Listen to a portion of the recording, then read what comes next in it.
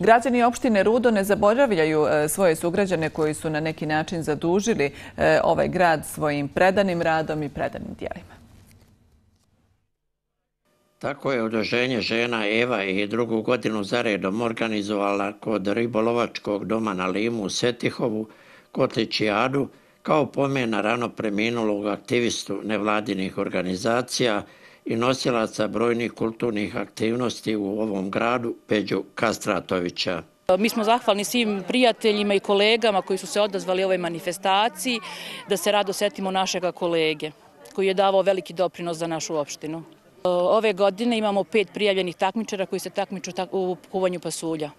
Iskreno da vam kažem, osjećanja su podijeljena. Sa jedne strane sam jako, jako tužna zato što predrag nije sa nama. Eh, ovo je bio njegov život, organizovanje manifestacije, učestvovanje u svim događajima koji se dešavaju u opštini Rudo, a i u široj okolini.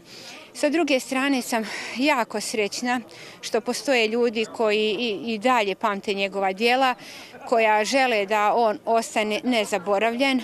Emocije danas izuzetno pomiješane. Drago mi je što se ovo organizuje izuzetno teško. Peđa je bio izuzetan otac, suprug, moj brat. Nemjeriv je bio njegov doprinos za sve nas i za ovu opštinu i za sve. Zbog korone, kiše i hladnog vremena odziv takmičara u spravljanju vojničkog pasulja bio je manje nego prošle godine.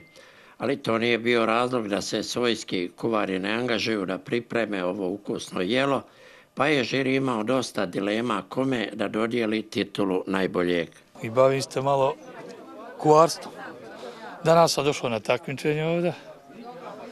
Eto, po svojoj prilici da sam osvojio i prvo mjesto. Pa što ide u pasovi, znate, pasovi, luk, mrkva, vrganje. Ma neće sve da odajem tajne. Organizaciju ove male manifestacije pomogla je lokalna zajednica i pojedine firme u opštini Rudo.